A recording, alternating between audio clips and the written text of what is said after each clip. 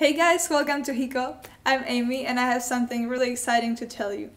At Hiko, we are always looking for better, greener ways to source our products, and that's why I want to talk about E.prene today. E.prene is an evolution of neoprene towards sustainability and better performance. Neoprene is around since 1920s, and its main ingredients used to be petroleum. But in 1960s, petroleum was replaced by limestone, which is great because it's not only greener, but it, the material neoprene also performs better.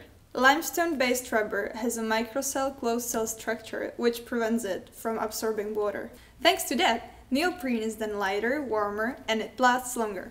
At Hiko, we source exclusively limestone-based rubber. The next revolutionary step is using all scrap tires to produce carbon black, which is the second key ingredient to produce neoprene.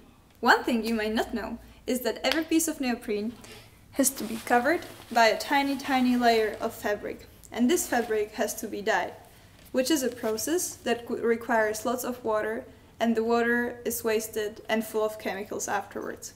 And we don't want these chemicals to flow into our rivers. Which is why dope dyeing is so dope. It's a process where the yarn is colored before it is made into a layer of fabric and this process saves lots of water and also the yarn and the color of the neoprene is then brighter and lasts longer. Now imagine you have the awesome piece of fabric that is full of colors and you want to stick it onto the layer of neoprene. Which is where the next revolutionary step happened.